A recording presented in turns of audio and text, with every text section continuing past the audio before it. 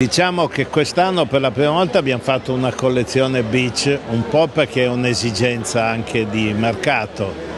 I giubbotti nella stagione estiva si vendono un po' meno, quindi si vendono più i pezzi piccoli, leggeri.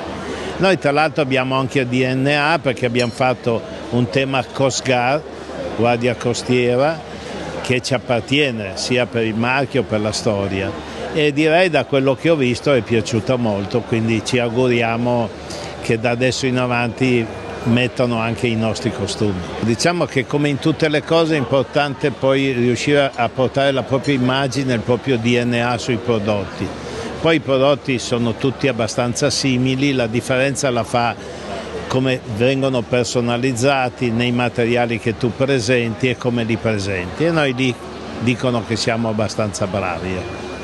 Ma i tessuti, la tendenza, noi abbiamo lavorato molto sulla parte stretch, nylon ultralight stretch, neoprene ultralight stretch e poi abbiamo fatto anche un po' di garment dye, anche perché come dico il clima eh, sono talmente volubili che un giorno fa caldo, il giorno dopo piove, quindi cerchiamo un po' di adattarci anche alle esigenze del clima. Ecco. Il piumino ormai è diventato, il piumino leggero per me è diventato un four season, nel senso che devi sempre averlo dietro perché cambia improvvisamente la temperatura e ti salva a volte la vita perché quando viene il freddo se sei con una t-shirt quindi per noi sono dei capi interessanti che ne vendiamo veramente tanti perché li diamo in diverse versioni, in diversi materiali ed è un business che sta crescendo tantissimo per quello che ci riguarda.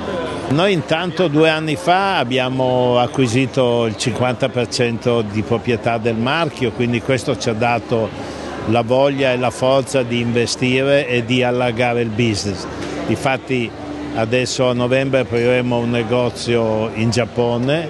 Diciamo che il passo successivo, una volta fatta una distribuzione mondiale, bisogna pensare al retail che è necessario.